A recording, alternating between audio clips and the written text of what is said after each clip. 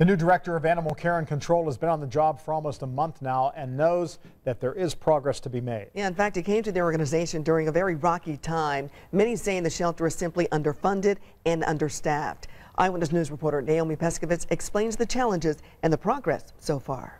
Wrapping up his fourth week on the job, the new director says one of the biggest challenges is the budget. The shelter is still waiting to see if the City County Council will grant their request for $500,000 this fiscal year.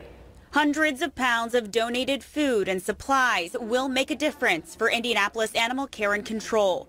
Harrison College vet tech student Jamie Schmidt hopes her collection drive can help. It's heartbreaking. I mean, Indianapolis has so many animals that need help and they need love. The shelter's new director, Dennis Pappenmeyer, says the call is always out for more people like Jamie.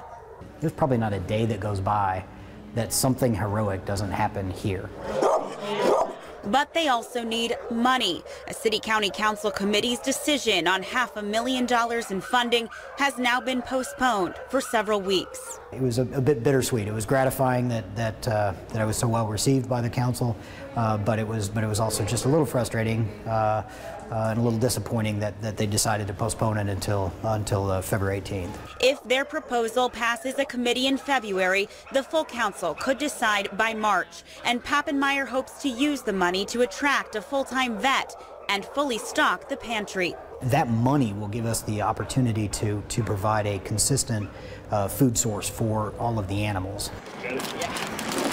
So until that vote later this year, it's up to people like Jamie Schmidt to fill in. This is our shelter. It's your shelter. It's my shelter. It's their shelter.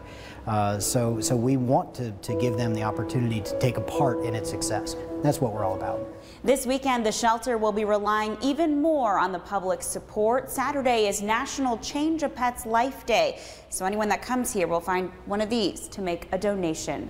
On the southwest side, Naomi Pescovitz, Channel 13 Eyewitness News.